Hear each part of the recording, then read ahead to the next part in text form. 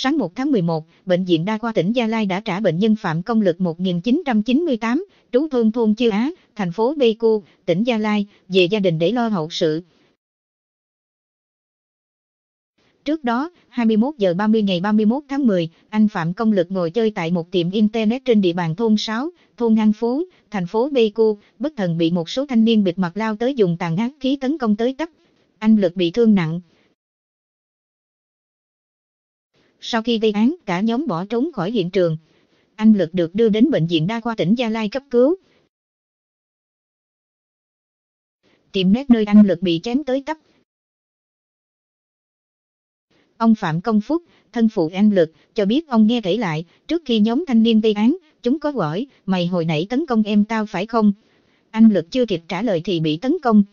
Các y sĩ nói 95% anh Lực tử trận nên trả về cho gia đình lo hậu sự. Hiện công an thành phố Pleiku, tỉnh Gia Lai đang điều tra làm rõ rệt nguyên nhân vụ việc và truy tóm nhóm tàn ác thủ gây án.